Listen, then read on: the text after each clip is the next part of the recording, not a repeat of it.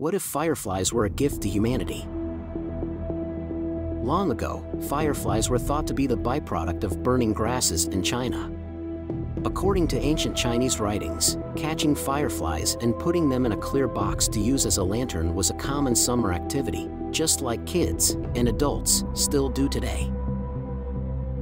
The scientific name for the compound that helps fireflies light up is luciferin, which comes from the Latin word lucifer, meaning light-bearing.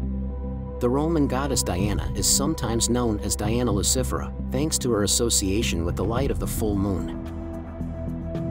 Want to know something else that's pretty cool about fireflies? In only two places in the entire world, there's a phenomenon known as simultaneous bioluminescence. That means that all the fireflies in the area sync up their flashes, so all they light up at exactly the same time, repeatedly, all night long.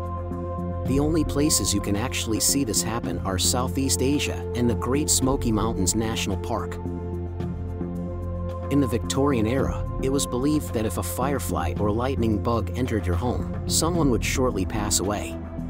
Don't be alarmed if you find a firefly in your house one warm summer evening. After all, the Victorians were quite big on death beliefs and essentially invented grieving as an art form.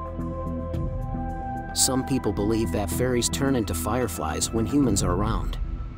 They also believe that mushrooms turn into gnomes or trolls. What if fireflies are here to show us the way when we are lost?